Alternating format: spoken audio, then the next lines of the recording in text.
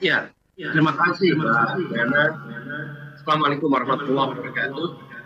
Selamat pagi, selamat siang, selamat sejahtera untuk semuanya. Izinkan saya menyapa dari tanah tempat matahari terbit pertama di Republik ini, di tanah Papua. Saat ini saya sedang berada di, di Sorong. Dan karena itu saya itu saya mohon maaf tidak bisa secara fisik hadir. Tapi ini adalah pertemuan penting jadi walaupun virtual, izinkan kami menyampaikan secara jarak jauh. Yang kedua, terima kasih kepada koordinator dan seluruh ketua asosiasi yang tergabung dalam komunitas profesi dan asosiasi kesehatan. Koordinatornya Pak Dr. Dr. Muhammad Adib Ubaidi. Ada 18 asosiasi supaya lebih efisien tidak disebut nama satu persatu tanpa sedikit pun mengurangi rasa hormat kepada uh, semuanya. Bapak Ibu sekalian, saya ingin menyampaikan beberapa gagasan. Tapi sebelum itu, izinkan kami menyampaikan apa yang menjadi pandangan kami terkait dengan Pilpres dan perjalanan Indonesia ke depan. Pilpres tanggal 14 Februari adalah menentukan kepada siapa kewenangan itu diberikan.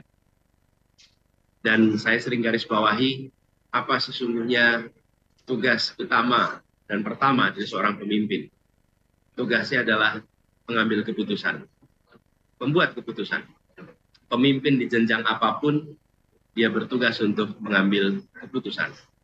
Nah, karena itu sebelum saya memulai paparan tentang teknis kesehatan, izinkan kami menyampaikan bahwa di dalam mengambil keputusan kita perlu memiliki rujukan.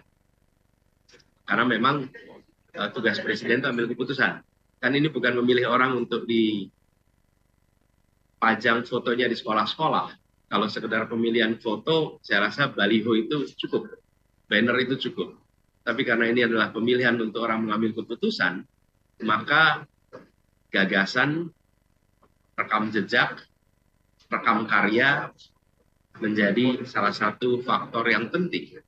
Nah, terkait dengan pengambilan keputusan, kami melihat ada empat dimensi yang penting dalam mengambil keputusan yang insya Allah selama ini, selama saya bertugas di kantor gubernur maupun bertugas di pemerintahan yang lain ataupun ketika saya bertugas di kampus, maka dimensi pertama adalah rasa keadilan, kesetaraan. Keputusan harus mempertimbangkan dan sebisa mungkin memaksimalkan pemenuhan prinsip kesetaraan, prinsip keadilan. Yang kedua adalah prinsip kepentingan umum, kepentingan publik. Kepentingan publik, kepentingan umum itu dimensi yang kedua. Dimensi yang ketiga adalah data, ilmu, objektivitas, akal sehat. Ini adalah dimensi ketiga yang harus digunakan di dalam pengambilan keputusan. Lalu yang keempat adalah regulasi, aturan, konvensi, undang-undang, dan lain-lain. Jadi dari empat ini, urutannya jangan dibalik membuat keputusan itu bukan dimulai dengan regulasi dulu. Karena sering banyak regulasi yang tidak adil. Regulasi yang mungkin tak masuk akal. Regulasi yang mungkin tidak sesuai dengan kondisi objektif. Karena itu memulainya dengan prinsip kesetaraan, kemudian kepentingan publik, kemudian ilmu, pengetahuan, data, informasi, akal sehat, dan regulasi. Nah inilah cara berpikir, cara bertindak yang selama ini kami gunakan. Karena itu, dalam kesempatan ini kami sampaikan, kami selalu terbuka di dalam proses pengambilan keputusan bisa dilihat di rekam jejak selalu kolaboratif. Peristiwa pandemi 2020 adalah peristiwa yang membuat kita, kita semua di dunia pengambilan keputusan dipaparkan pada kondisi siapa yang mempercayai ilmu pengetahuan, siapa yang mempercayai pendekatan keilmuan, pendekatan objektivitas, dan siapa yang tidak menggunakan ilmu, yang tidak menggunakan rujukan ahli dalam mengambil keputusan. Fenomena ini bukan hanya dialami Indonesia, seluruh dunia. Policy maker seluruh dunia dikonfrontasikan dengan kenyataan. Dan kita menemukan banyak pengambil keputusan tidak menggunakan ilmu pengetahuan, tidak menggunakan rujukan para ahli, dan mengambil keputusan dalam kegelapan tanpa rujukan ilmu. Nah, ini yang kami ingin tawarkan kepada semua. Bahwa Indonesia ke depan adalah Indonesia yang keputusan-keputusannya diambil dengan empat prinsip ini. Dan ada keterbukaan, kemauan untuk kolaborasi, mendengar, membahas bersama. Sehingga keputusan yang dibuat adalah keputusan yang melibatkan semua. Partisipasi menjadi kunci. Kenapa kita punya demokrasi? Ya karena kita ingin ada partisipasi yang lengkap. Nah, inilah Bapak sekalian prinsip-prinsip yang saya rasa perlu saya sampaikan di awal. Jadi ketika ada kebijakan-kebijakan yang kemudian selama ini diadopsi dan perlu dilakukan perubahan, ya kita lakukan perubahan. Bila tujuannya adalah memenuhi prinsip-prinsip tadi. Jadi dengan pengantar itu, izinkan saya sekarang masuk kepada beberapa materi terkait urusan bidang kesehatan. Jadi misi kami adalah membangun akses kesehatan berkualitas. Salah satu jalan menuju Indonesia adil makmur untuk semuanya. Ketika ini dikerjakan, Ibu sekalian, maka kita semua berusaha untuk mengikhtiarkan agar adil makmur itu untuk semua. Kalau boleh ditunjukkan slide pertama atau slide kedua nih kalau di urutannya. Ini adalah potret ketimpangan yang ada di Indonesia. Itu sebabnya mengapa kita misinya adalah adil makmur untuk semua. Jangan adil makmur untuk sebagian. Bapak Ibu bisa lihat IPM di kawasan Indonesia Timur ini jauh nilainya dengan kawasan Indonesia Barat. Sumatera dan Jawa itu di tahun 2022 74 skor IPM-nya. Lalu tahun 2013 Sumatera dan Jawa itu angkanya 69. Sekarang coba lihat kita kawasan Indonesia Timur. Skornya di tahun 2022 itu 69. Jadi bukan selisih 5 poin yang kita harus perhatikan selisih 10 tahun. Meraih 5 poin itu 10 tahun. Jadi bila kita tidak seriusi soal ini, padahal IPM itu unsurnya adalah salah satu yang utama kesehatan selain pendidikan. Jadi dengan potret itu tidak ada pilihan lain bagi kita untuk mempercepat pembangunan manusia di seluruh wilayah Indonesia agar ketertinggalan bisa ter, bisa segera dikoreksi dan maju bersama, jangan maju sebagian. Lalu ketika sampai kepada bidang kesehatan, maka kita akan lihat bahwa 64 persen dokter, 74 persen rumah sakit itu berada di Pulau Jawa dan Sumatera. Bahkan ini juga kalau kita cek menunjukkan 68 persen rumah tangga di luar Jawa Sumatera merasa kesulitan mengakses rumah sakit. Artinya ketimpangan dan ketidakadilan tidak boleh dibiarkan, ini harus kita koreksi. Bagaimana mengoreksinya? Lihat slide berikutnya. Kita ingin meluruskan paradigma. Paradigma baru yang menghadirkan akses kesehatan berkualitas. Di sini ada beberapa pergeseran dan perubahan yang ingin kita lakukan. Pertama, dari yang fokusnya pada kesehatan kuratif menjadi fokus kesehatan promotif, preventif, dan kuratif. Dan ini kita kerjakan sebagian sudah kita lakukan di Jakarta yang insya Allah akan kita teruskan.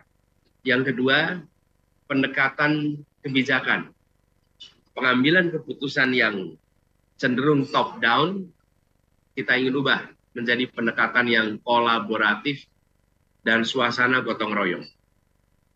Apakah ini mudah? Tidak. Kolaboratif itu artinya mengundang perbedaan pandangan untuk dibahas. Dan membahas perbedaan pandangan itu bisa melelahkan. Tapi itu jauh lebih baik daripada diputuskan terus baru terjadi perdebatan. Republik ini adalah republik demokrasi. Debat dulu baru ambil keputusan. Jangan ambil keputusan dulu, keluar undang-undangnya, keluar peraturannya, baru ramai diperdebatkan. Yang ketiga, kesejahteraan nakes yang belum menjadi prioritas, saya rasa ini sudah saatnya untuk mengedepankan kesejahteraan para tenaga kerja di bidang kesehatan dan harus dikerjakan secara beriringan di lintas provinsi bidang kesehatan. Kemudian kesehatan yang berdiri sendiri menjadi atau pendekatan sektoral menjadi pendekatan health in all policies. Jadi kesehatan masyarakat itu bukan hanya dipengaruhi oleh kebijakan Kementerian Kesehatan, Dinas Kesehatan, tapi juga ditentukan oleh lintas sektoral. Saya beri contoh, layanan dasar misalnya sanitasi, air bersih, ini dampaknya nyata dalam apa? Dalam urusan diare, dalam urusan pencegahan stunting, dalam urusan penyakit-penyakit lain. Yang itu kebijakannya tidak di Dinas Kesehatan, tidak di Kementerian Kesehatan. Kemudian Jakarta misalnya, sebagai contoh, kita ingin agar kesehatan jiwa juga menjadi perhatian dan membangun taman sebagai ruang publik untuk beraktivitas, untuk berinteraksi. Ini adalah bagian dari upaya promotif preventif. Bangun transportasi umum untuk bisa mengurangi emisi gas karbon di polusi udara kita. Sehingga potensi penyakit saluran pernapasan bisa berkurang. Jadi kami mendekati promotif preventif dan kuratif ini tidak semata-mata melalui pendekatan sektoral, tapi pendekatan all policies. Itu sebabnya terjemahan dari dari prinsip ini adalah negara mau mengeluarkan anggaran untuk sektor-sektor lain yang benefitnya didapat dalam aspek kesehatan. Jadi saya beri contoh, bangun taman yang banyak, returnnya apa? Returnnya ada pada kesehatan masyarakat. Kita investasi yang serius dalam transportasi umum. Returnnya apa? Returnnya adalah udara yang lebih sehat. Udara yang sehat itu konsekuensinya apa? Masyarakat yang lebih sehat. Jadi terjemahan dari ini adalah fiskal. Bukan hanya alokasi di Kementerian Kesehatan, di Dinas Kesehatan, dan di bidang-bidang kesehatan secara langsung, tapi bidang-bidang lain, sektor-sektor lain yang mendukung tercapainya ekosistem yang sehat itu kita kerjakan. Itulah arti dari pendekatan health in all policies. Saya rasa Bapak-Bapak Ibu sekalian, para pimpinan dan anggota asosiasi uh, sangat memahami ini. Jadi kalau saya lebih jauh di sini, ini seperti menggarami air laut. Seperti berkhutbah pada orang yang sudah beriman. Nah, kemudian apa agenda strategis ke depan? Agenda strategisnya ada beberapa. Pertama adalah penguatan peran puskesmas dan pemberdayaan masyarakat. Kebetulan kemarin saya baru dari Ambon dan Maluku. Salah satu yang kita bahas di sana adalah tentang uh, Johannes Leimena, orang yang menggagas konsep uh, puskesmas yang sampai hari ini kita rasakan. Nah, penguatan peran puskesmas dan budaya masyarakat ini dilakukan secara serius. Dan saya punya pengalaman teknis karena saya tinggal di kampung di Lebak Bulus. Rumah kami itu dipakai untuk kegiatan pos bindu sejak kami tinggal di sana, jauh sebelum saya berada di pemerintahan. Dan kegiatan-kegiatan itu berhasil kami lihat dari dekat nih, bukan kata riset, tapi lihat dari dekat. Bagaimana petugas-petugas dari puskesmas lewat pos pintu mencegah penurunan kesehatan pada masyarakat lansia di pos pintu-pos pintu itu. Dan pos pintu yang di rumah kami menjadi uh, pengalaman empirik yang ada di depan kami. Kemudian kita ingin ada keseriusan jadi soal promotif preventif ini bukan sekedar statement tapi ada langkah konkret. Lalu peningkatan peran bidan untuk kesehatan ibu, bayi, dan tumbuh kembang anak. Dan penguatan peran posyandu, serta peningkatan tunjangan khusus untuk kader kesehatan. Ini di Jakarta, kami secara serius mengembangkan dan bekerja sama dengan PKK. PKK, kader posyandu, kader jumantik, itu diberikan insentif dan mereka menjadi garda terdepan dalam aktivitas preventif promotif. Ibu-ibu paling tahu tentang kondisi lingkungannya, paling tahu keluarga mana memiliki masalah apa. Negara nggak tahu itu, Allah sama ibu-ibu. Jadi kalau kita tidak partisipatif, kita tidak mengundang mereka, kita akan lolos nih di dalam ikhtiar. Lolos dalam tidak akan berhasil dalam ikhtiar promotif preventif. Jadi pendekatannya kolaboratif bukan menambah staff, tapi mengajak ekosistem ibu-ibu yang senyatanya sudah ada di lingkungan menjaga kesehatan masyarakat. Lalu kita juga ingin agar masyarakat itu sehat secara mental, maka salah satunya adalah menghadirkan konselor psikologi di puskesmas-puskesmas, sekaligus layanan konseling online uh, gratis yang berkolaborasi dengan lembaga-lembaga yang ada.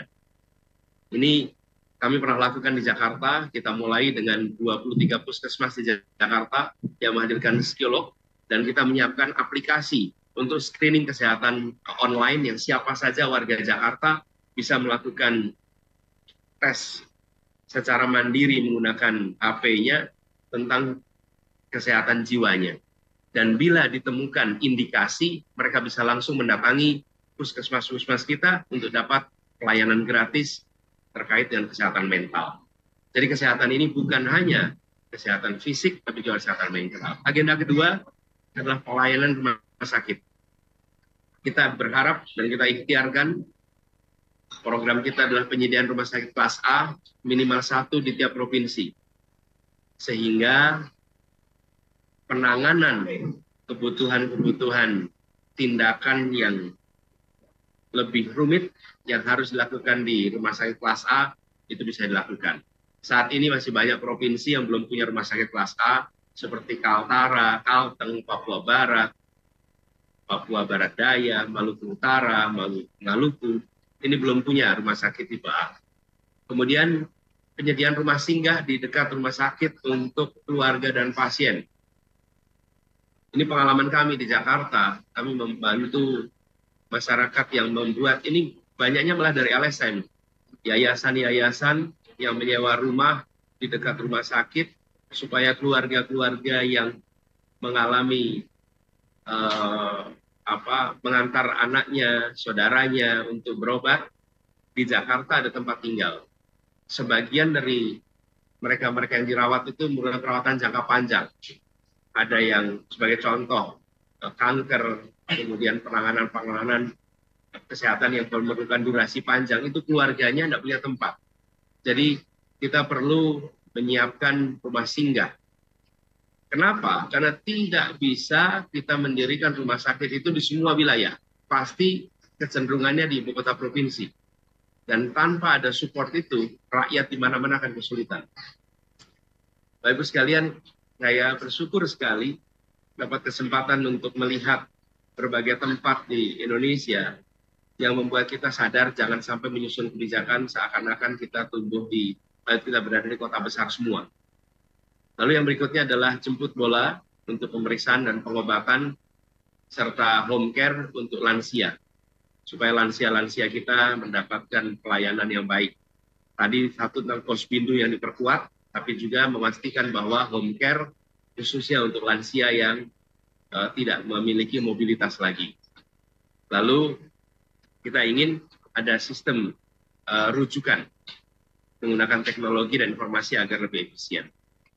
Adapun agenda ketiga adalah pemerataan kesejahteraan dan perlindungan untuk tenaga kesehatan. Jadi yang pertama adalah tentang status perubahan status program pendidikan dokter spesialis menjadi tenaga kesehatan dalam pelatihan. Sehingga dokter-dokter yang mengikuti PPDS itu bisa mendapatkan haknya sebagai tenaga kesehatan. Yang kedua adalah peningkatan kesejahteraan tenaga medis dan tenaga kesehatan serta kepastian eh, jenjang karirnya. Ini perlu kita susun sama-sama, duduk bersama dengan asosiasi, dan kita ingin agar prinsip meritokrasi itu benar-benar kita terapkan. Jangan sampai promosi berdasarkan koneksi, tapi promosi berdasarkan prestasi. Dan untuk itu harus disusun sama-sama dengan asosiasi, agar alat ukur kinerja adalah alat ukur yang objektif yang sesuai dengan profesinya. Dan terakhir adalah perlindungan tenaga kesehatan. Ini aspeknya apa? Dari tindak kekerasan dan darah dan dari kriminalisasi. Lalu yang kelima, slide berikutnya. Maaf, keempat, bukan kelima. Yang keempat adalah tentang pembiayaan kesehatan. Ini jaminan eh, kesehatan nasional kita harus ubah sistem rujukan pelayanan bagi peserta JKN harus lebih mudah, lebih berorientasi pada keselamatan pasien. Saya sekali lagi, keselamatan pasien. Karena mereka yang diprioritaskan itu. Yang kedua adalah kita lakukan evaluasi besar-besaran eh, terkait dengan besaran pembayaran fasilitas kesehatan tingkat lanjut dan juga sistem kapitasi untuk memperkuat pelayanan eh, JKN. Lalu agenda kelima adalah soal kemandirian farmasi dan alat kesehatan. Kita berencana untuk menambah produsen komponen BBO, bahan baku obat, yang berasal dari industri dalam negeri, karena saat ini kita masih bergantung pada eh, impor. Jadi kenyataannya hari ini 90% bahan baku farmasi dan alat kesehatan masih bergantung pada impor dan kebanyakan bahan bakunya diimpor dari dua negara, dari Tiongkok dan India. Yang kedua adalah menargetkan penurunan bahan baku e, obat yang diimpor turun 20% per tahun. Jadi harapannya setelah kita jalankan ini lima tahun, kita akan bisa menggantikan e, bahan baku obat impor menjadi bahan baku obat dalam negeri. Selama itu bisa kita segerakan disiap di dalam negeri. Kemudian agenda ke-6 adalah pengendalian penyakit dan ketahanan kesehatan. Ini belajar dari pengalaman kita menghadapi pandemi COVID. Pada waktu itu, kalau kami di Jakarta eh, saling belajar dengan eh, wali kota-wali kota dan gubernur eh, negara-negara yang sudah mengalami COVID lebih dahulu. Dengan wali kota Seoul, wali kota Teheran, wali kota Milan, wali kota negara-negara yang pada waktu itu kenal lebih dulu dari kita. Dan pembelajaran dari wali kota-wali kota itu membuat kami di Jakarta mendapatkan bekal bagaimana merespon ketika COVID sudah mulai jalan. Nah, keterbukaan ini membuat kita semua sadar bahwa kita harus segera melakukan penguatan sistem surveillance nasional dengan dengan melalui apa data dan sistem informasi yang terintegrasi. Yang kedua, kita harus meningkatkan kapasitas dan kualitas laboratorium kita. Yang ketiga, kita harus melakukan pengayaan respon pandemi bagi uh, nakes dan kader lapangan. Ini kaitannya dengan uh, tracing dan uh, treatment. Jadi pelajaran penting dari pandemi kemarin harus segera menjadi kebijakan antisipasi peristiwa ini berulang. Nah, dengan itu semua, Bapak sekalian, kami berharap sekali kerja bersama dengan Bapak Ibu di asosiasi bisa kita tingkatkan. Saya ingin sampaikan terima kasih pada semua yang terlibat di organisasi profesi dan asosiasi yang hari ini bergabung kompak karena telah menjadi uh, mitra selama ini dalam menyusun dalam mengambil kebijakan yang punya dampak yang besar bagi masyarakat. Apalagi saya ingat di masa-masa awal krisis, kami undang ahli-ahli kesehatan, masyarakat, menjelaskan, memaparkan, dan itu yang kemudian menjadi pedoman dalam kami bertindak. Karena itu kami ke depan berharap untuk bisa terus berkolaborasi, berjalan seiring, termasuk dalam review hal-hal apa saja yang harus kita lakukan uh, perubahan. Dan kita menyadari bahwa bangsa ini bersyukur garda terdepan memberikan pelayanan kesehatan ada pada Bapak Ibu sekalian. Dan kami berharap bisa mendukung peran Bapak Ibu yang berada di garda terdepan agar bisa menjalankan tugasnya dengan optimal. Dan kami juga berharap bisa melakukan diskusi, pembahasan untuk proses advokasi kesejahteraan tenaga kerja di bidang kesehatan sebagai bagian dari tanggung jawab moral kita. Kita mengharapkan tenaga kesehatan, memikirkan kesehatan masyarakat. Karena itu kita harus memikirkan tentang kesejahteraan para tenaga kesehatannya. Bapak sekalian, sebelum saya akhiri, saya ingin mengajak untuk kita bersama-sama kolaboratif, membentuk roadmap bersama, dan menjalankan ini nantinya bersama-sama. Kalau boleh saya titip PR untuk Bapak Ibu yang berada di asosiasi. Unsur perubahan yang akan kita lakukan ada empat komponen yang mudah-mudahan Bapak Ibu di asosiasi akan bisa membantu melakukan identifikasi.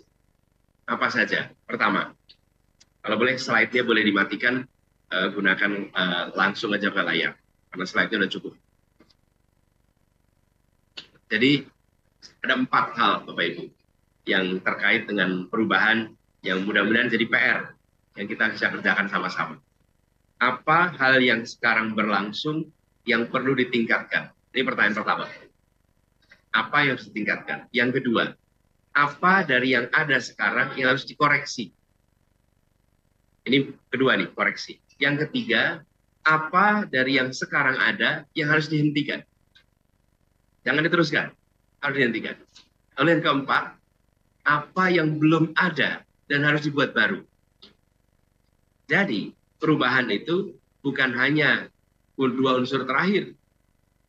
Menghentikan atau membuat baru. Perubahan itu adalah meningkatkan, mengkoreksi, menghentikan, dan membuat baru. Ini PR. Saya berharap Bapak Ibu sekalian di kompak bantu memikirkan. Nanti kita bisa duduk sama-sama. Dengan begitu, perubahan yang kita kerjakan adalah perubahan yang sesuai dengan kondisi di lapangan dan tidak menimbulkan tumpang tindih kebijakan sering kali kita membuat kebijakan itu timpa saja kebijakan lama dengan kebijakan baru. Timpa lagi, timpa lagi. Ini seperti bangun aspal di jalan. Rusak, bukan dibongkar dulu. Timpa lagi dengan aspal, timpa lagi dengan aspal, timpa lagi dengan aspal. Setelah jalan 20 tahun, jalan ya bisa lebih tinggi satu meter dibanding rumah-rumah yang ada di kanan kirinya. Kenapa? Karena ditimpa terus. Nah, dalam menyusun kebijakan, jangan kita lakukan itu. Itulah sebabnya empat hal ini dan prinsip pengambilan keputusan seperti saya sampaikan tadi.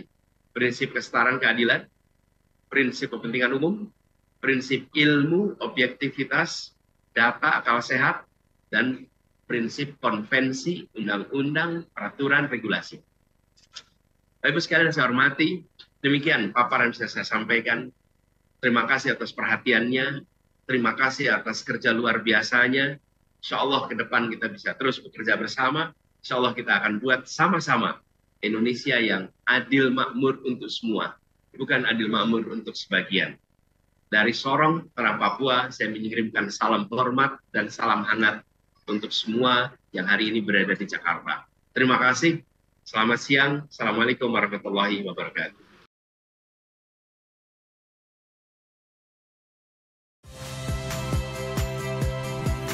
Saya Yasir Neneama. Saksikan program-program Kompas TV melalui siaran digital, pay TV, dan media streaming lainnya. Kompas TV, independen, terpercaya.